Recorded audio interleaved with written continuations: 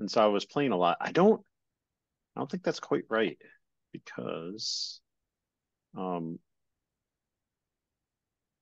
actually, I'll go ahead and, uh, let's see. Well, there's not an easy way to share this right now, but if you look at the code uh, for to DuckDB under the hood, it's just calling um, DuckDB register arrow from the DuckDB package. And so uh, it sh should be, it's just, it is a DuckDB con, um, but it's like it's still it's reading that it, it's it's using the the Parquet as like the source of the database still. So it's a virtual DuckDB, just like you were saying, but I, I think it's still using the DuckDB backend, DBI backend. Um, let me um, Yeah, I'm not sure. Yeah. I, I well, yeah, I, I think my understanding is that it goes from Parquet as an arrow stream to DuckDB represented there as a virtual table, virtual table. And then you're uh, facing DuckDB um, from dbplyr, which uses the DBI connection objects with the DuckDB uh, driver. And at least Kirill Muller has confirmed that that step converted to a data frame right now.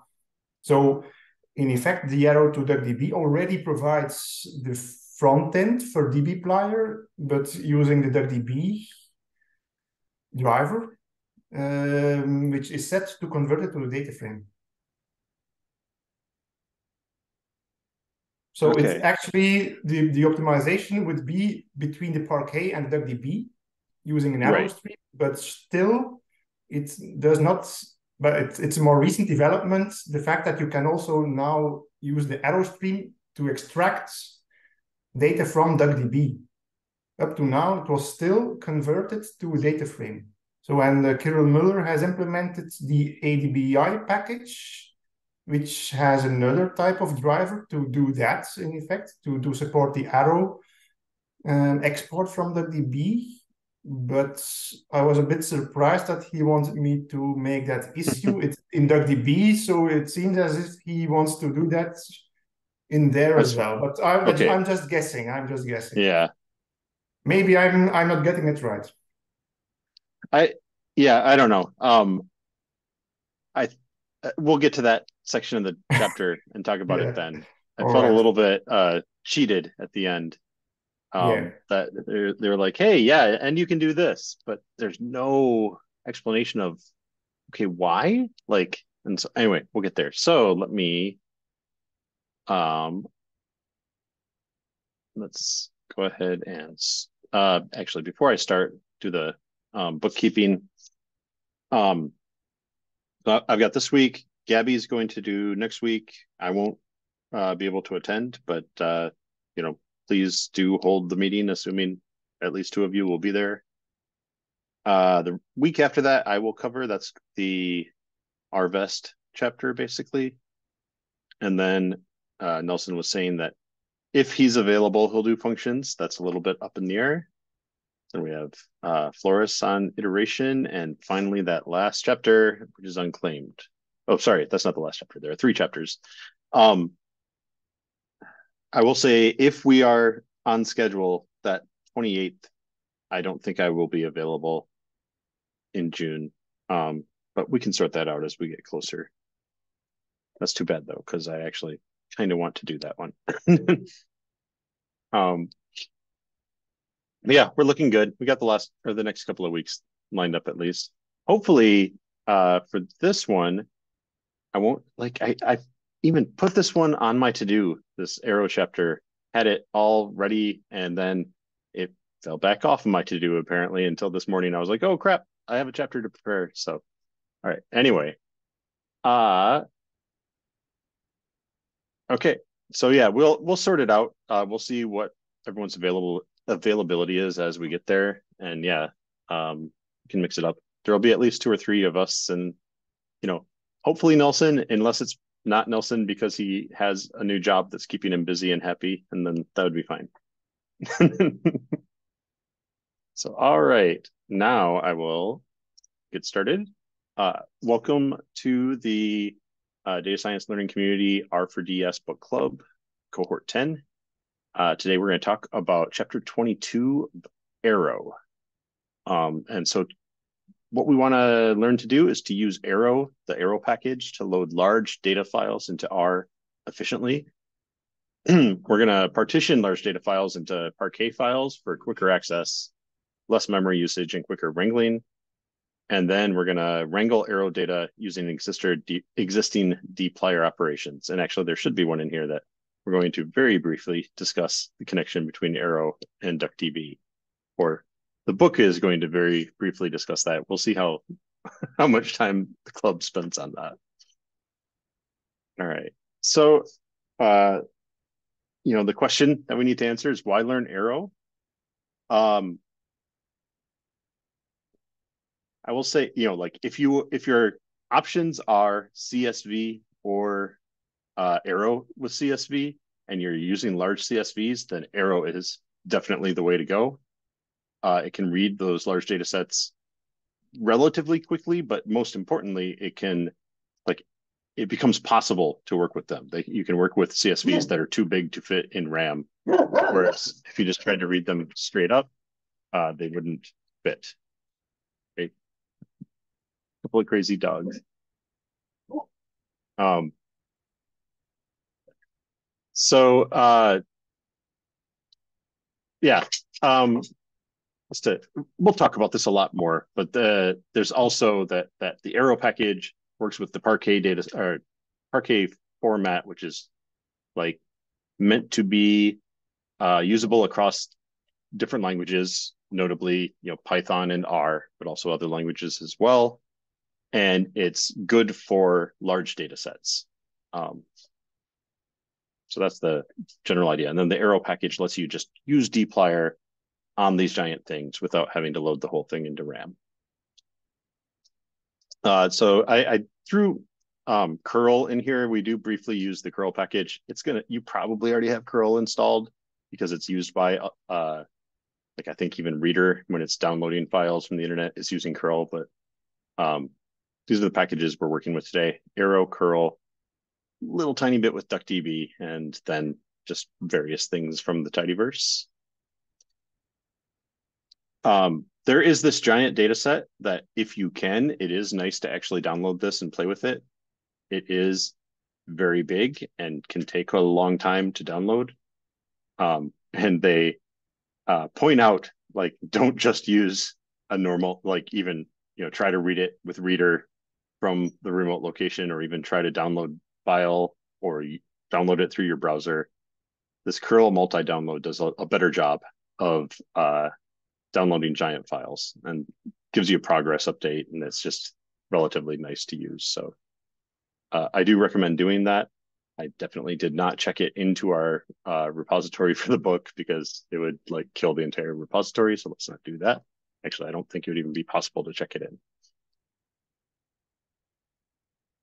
Uh, he has a formula in here that very roughly speaking, the size in memory for a CSV is roughly twice whatever it is on the disk. So if you have a 10 megabyte file on the disk, it'll be about 20 megabytes in memory. Um, and you can see how if it's, you know, a nine gigabyte file, then that's going to take up a lot of memory and you might not be able to fit that. Um, and so instead of using read CSV from readr, um, we can use Arrow Open Dataset, which will um, scan it, but it doesn't actually load it like it loads a representation of the data set. Um, it's and he points out that it scans a few thousand rows. In this case, there's this ISBN field that's empty for 80,000 rows. So if we just rely on Arrow, it's going to think that that's an empty column and uh, probably defaults to calling that a logical. That's what readr would do at least. And so we tell it what it is. I, I can't remember if it defaults or if it just fails because it can't figure it out. But one way or the other, you want to tell it what that is. Um, but the really important thing is it doesn't actually load this data set into memory. And so you don't have to have enough memory to fit the entire data set. You just have to be able to load kind of a representation of the data set.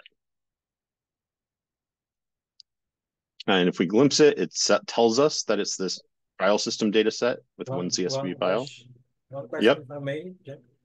Um, in the previous, so that is if you know there is a column ESBN. Yeah. Um, but how would you go on with uh, if you? I I I think if it's so big uh, a data set, you will have a a dictionary or something about it because if you have something big and you maybe wanna at least peek at what the the columns are and uh to then decide or give a, have an idea, can you still use them and without specifying and then do a, a, a second run? Yeah, uh, I can't specify? like I can't remember if it shows you or if it errors or if it loads it wrong.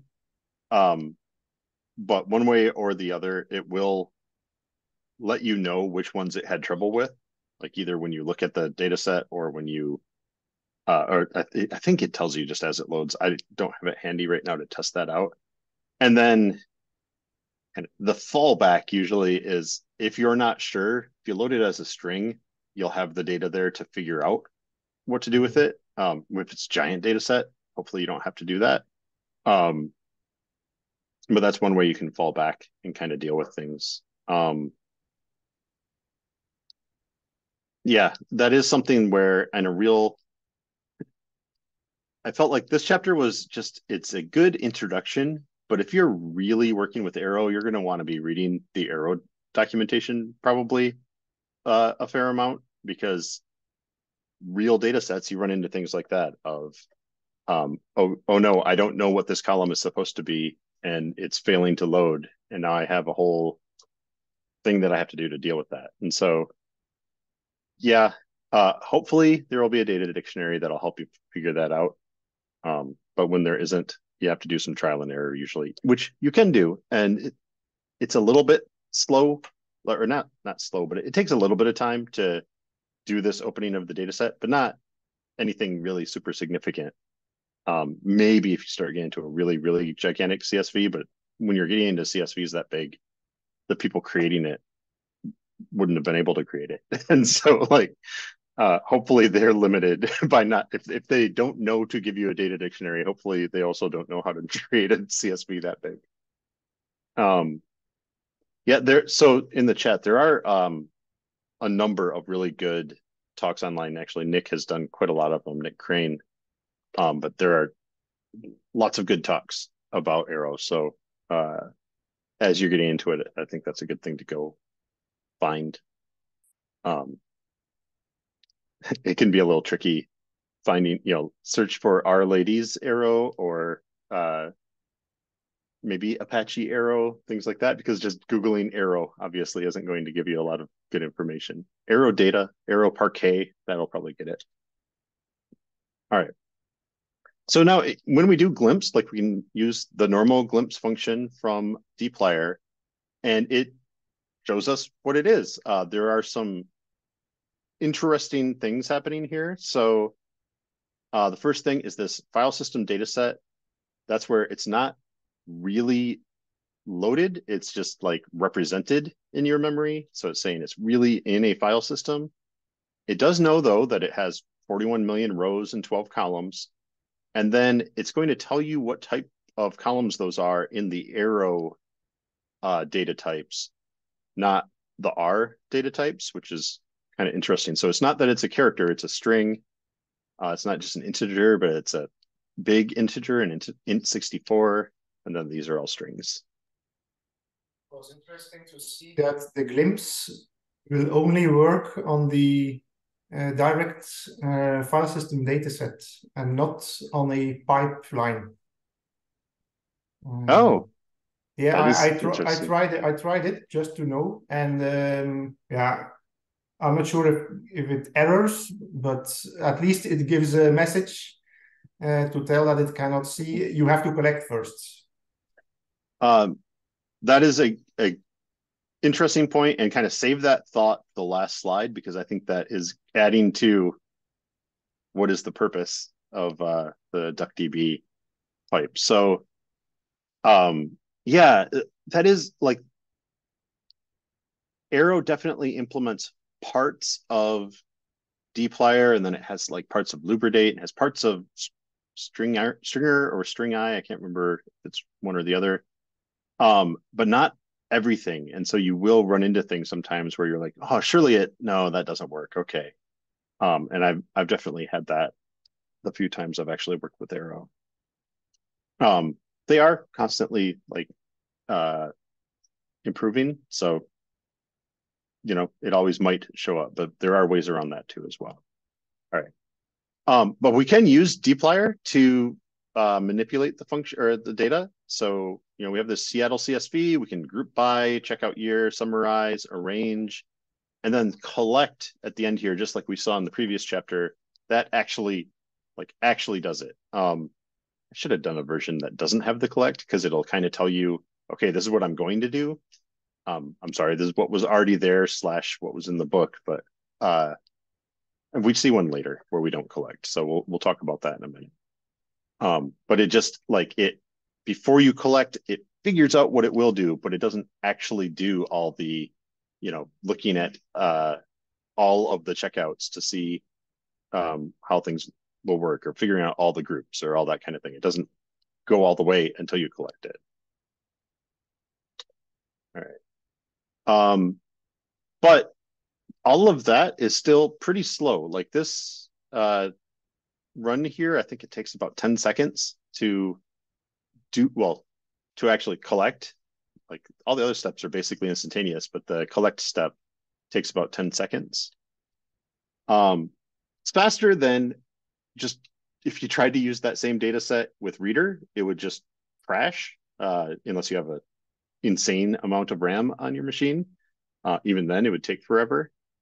Um, so it's it's better if you got just a CSV to to use Arrow uh, Open Data Set, but much faster is if you can take that CSV, uh, convert it to Parquet, and then use use Arrow with it. Now, I will say if you are just like exploring a CSV once, and you will never open that again, in that case, there's no point to do Parquet because you've already like done it. Although actually, still while you're doing all your various collecting, it still could be a pain. It's but it it's it takes a long time, or not a long time, but it takes some time to convert to Parquet. So just factor that in um, that you might have to deal with that. But it doesn't take that long, you know, that much playing with the data before the Parquet conversion would be worth it. Um, we're going to go into this a little bit more. We're going to see an example, but the one of the big things that Parquet can or Parquet does to make this faster is it subdivides the data. As long as you tell it how to do it, it will subdivide the data into different files so that depending on what the manipulation you're doing is, it won't have to look at some of the files. It can just ignore those.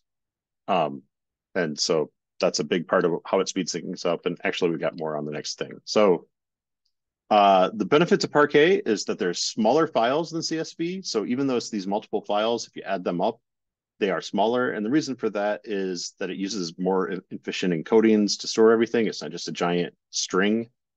Um, and it does some compression. Um, it stores the data data types. So CSV just writes everything as strings, as, as uh, you know, text.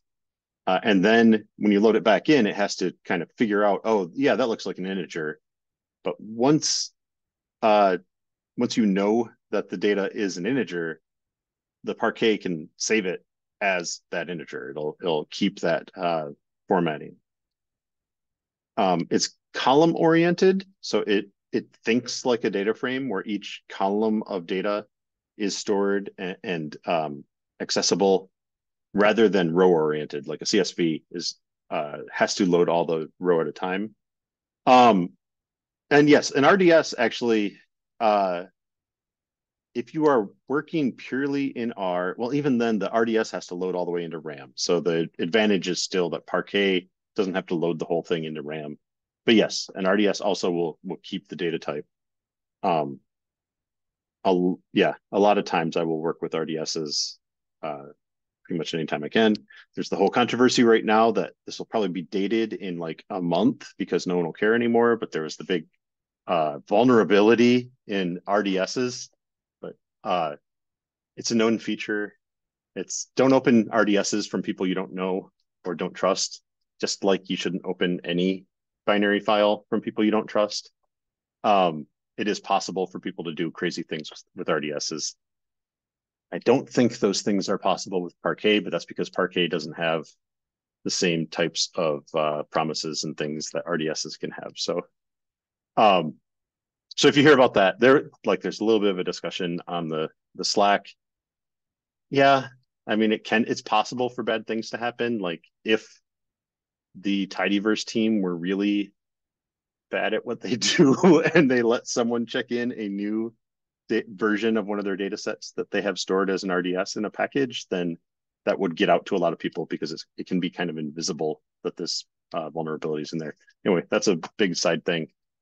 It's unlikely to happen, and there are ways to deal with it. So, um, regarding sorry regarding uh, CSV files, if you read them with arrow, I think they can also be larger than memory and support that aspect. Uh, it, I think that that would be similar, even though it's yeah. slower. Right. Uh, so it's not that you cannot uh, take large CSV files. I think. Um, which, yeah. Right. Yeah. So it yeah it, it still can deal with the giant CSVs. It just has to do that processing, and so that's where it will be slow. And if you're doing a lot of different work with the CSVs, um, that's where it's useful to go ahead and write it out as a Parquet because uh, it won't have to keep reprocessing the CSV. Basically, not yeah, as, as not exactly arrow, right. Uh, yeah. Right. Yep. Yeah. Okay. Um, but the disadvantage in all this is, uh, you know, CSVs are human readable. You can look at it and understand what data's in it, and uh, Parquet is a like binary file. It doesn't it's not going to mean anything to you if you try to look at the contents of the file. All right. So um, the way or a big way of um, how it gets all this advantage from Parquet files is uh, partitioning. That's where it splits data across files so that again, if you aren't using some of the data, like if you there are years you're not using in your data, you can just skip those files entirely. Um, he says that you'll likely need to experiment to find the best partition partition for your data. Um, you know, think about how you tend to uh, filter or group things, and that will be a good sign of probably how you want to partition things. Um, and the recommendations from Arrow is that you want to try to keep your files uh, larger than 20 megs per partition and smaller than two gigs. That does kind of tell you, you know, if your data is smaller than 20 megs, you're probably not going to get a lot out of Arrow at that point if they're telling you don't make any of your partitions smaller than that. Um, and it does, it says try to keep it less than, or uh, uh don't go above 10,000 files. Um, a lot of times though, you're not, you don't necessarily have a lot of control on this, but they're telling you, you know, don't over subdivide because you're not going to save time if it has to go through thousands and thousands of files or you know tens of thousands of files find everything. All right. Uh so we we had that seattle library uh data set we downloaded. Um what we want to do is we're going to group by to define our partition partitions and then we're going to write data set to save it as the parquet. Uh, we'll set up a path in our folder here and we just take that Seattle CSV, which is already loaded into Arrow, group by checkout year, and write data set to our path in format Parquet. And that's it. That'll uh, create the Parquet version of the file. I can't, I, I ran this. I don't remember how long it took. It wasn't too bad. It was definitely quicker than the download. Um, but this is a like one-time time investment that it takes a little bit of time to sort it out. But then once you do it, it's done, and it can can be much faster after that. Like you said, mm. I will probably have to go to the arrow documentation and all that, mm. but maybe you have an idea because if you have this one is a big file and with, let's say, everything you need. But what what about if you have logs, for example, by by month or by year or whatever, and um, if you have to download the CSVs and then they are big, and then you will add them to an arrow so or to a per Parquet format. So would it be possible to to download and add to the different because you already partitioned the first time and now you are adding and uh, maybe if you partition I, I, I understand you partitioning in rows and now you are downloading in, in columns sorry and now you are downloading new rows so how do you know if that's um the if you're downloading new rows you're not going to gain anything i don't think because it's well so if you had a whole new partition, like a new year that you wanted to add to the data set, I think in theory that would work, but I haven't I haven't done that. Um, but I, I actually I do I did I have some gigantic data sets of like multiple CSVs that I haven't finished. I, I know that I can make them better using uh, Parquet. And I suspect that going doing something kind of like that where I'm adding into an existing Parquet data set is going to be the way to do it. Um, so probably, but I don't know the answer and this chapter doesn't go into it. Okay, well, yeah, we'll go through the documentation. okay. All right.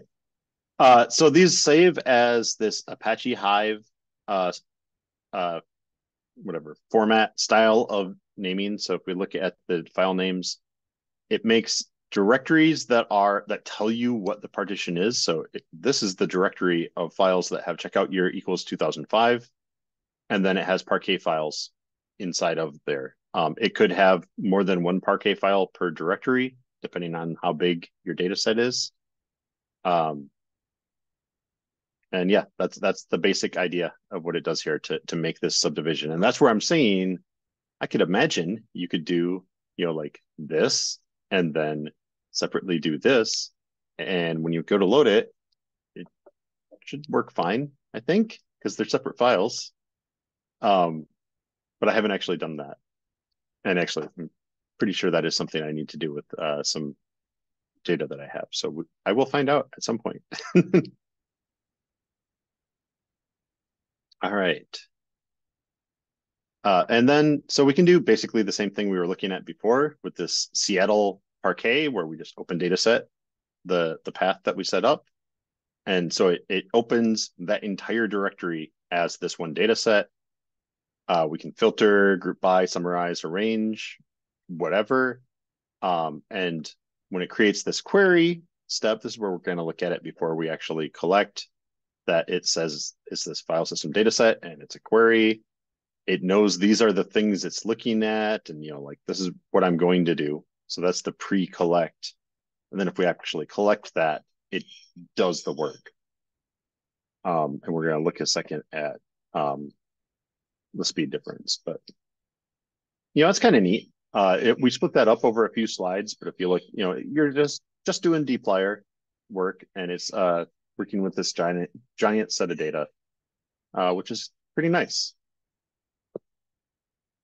Um, the book he says that there's this uh acero I don't know even know what that word is supposed to be and why why that is the thing to look up. And so I checked and it has aliases, one of which is arrow hyphen dplyr, which is way easier to remember to me. So that's what I recommend doing, that you can look up what they have translated basically. Um, and this is where I was saying that, yeah, they have dplyr most of dplyr. They have some some um, things to look out for within it, and then they also have a bunch of other kind of random things like they have lubridate. Um, they have uh, stringi and stringr. Some pieces of it are translated. Um, but you'll notice, and we'll talk about this a little, that there's no uh, tidyr, there's no purrr wouldn't necessarily make sense, but there's, you know, just dplyr as far as the kind of core of the tidyverse. And I realized it appears that Acero is the arrow query engine, is the name of the arrow query engine. Okay. Yeah, I I figured. I mean, it had to be something. Um, I don't think it shows here. Yes, yeah, it doesn't. Yes, yes it is. It's there uh, at the fifth line or so. Oh, okay. Um, but it, there Okay. is the, your list of um, right. aliases. So arrow verbs, that's also a pretty good one, or, or arrow functions. Um, so uh, anyway, tho- those are all the aliases you can use to find that same thing. Um, I had, oh, I, I just realized that I stopped uh, being good about suppressing the uh, the numbers on these, so I'll deal with that in a minute. Um, just looking at the difference, I, I made kind of he has two different pieces in the book where he does the um, CSV version and then the Parquet version, but runs it through all this same stuff and does a time on it. I just showed that as X. And when you do the CSV version, it's about 12 seconds. The Parquet version is three tenths of a second. Um, so big difference. Like it's uh, orders of magnitude faster to work with the Parquet files. So it's worth um, setting that up when you can.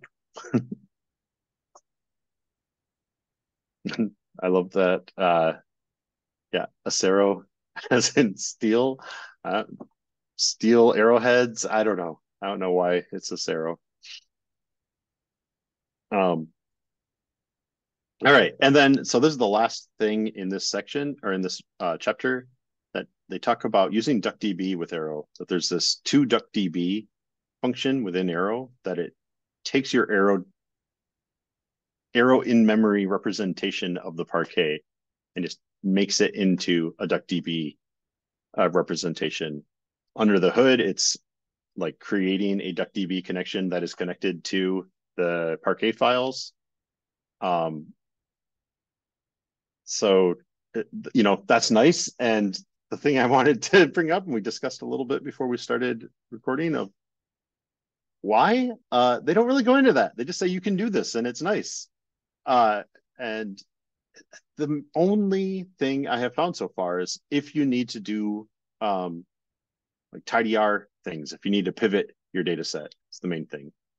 Um, you can't do that in Arrow. Like Arrow will just fail versus DuckDB and other DBI or dbplyr backed things can do that. So maybe that's why you would do this. Uh, it is slower with the the test. You know, if I run this thing, um, it was on my machine. I mean, it was slightly slower. It was like 0.1 seconds for Parquet and 0.3 seconds for DuckDB, something like that. Um, DuckDB has some slightly different limitations on the um, that we talked about last chapter that it doesn't really know about the difference between NA and null.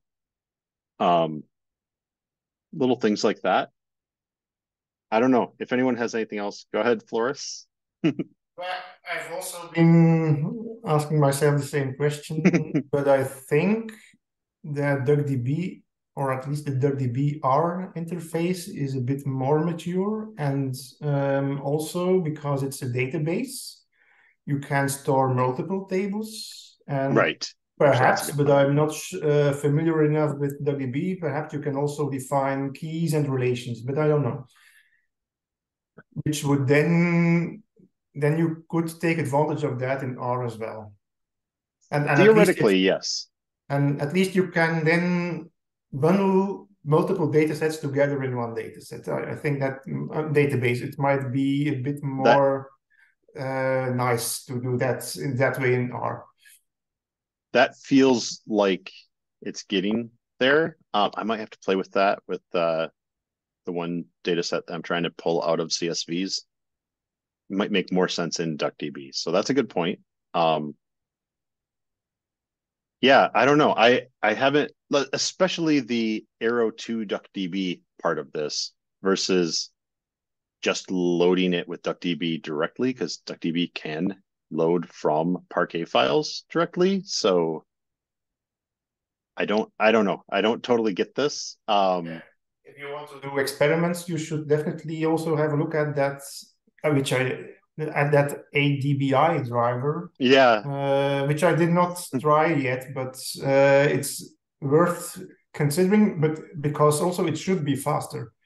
At That's- least if it was already Arrow, and even if it's DuckDB's um, schema, it's it's very related to Arrow. So I guess it's also very efficient to go Right. back and forth with the Arrow uh, setup, and so that would be more efficient to keep it in Arrow and first apply the queries, etc., and and and then convert to a data frame. Yeah. Uh,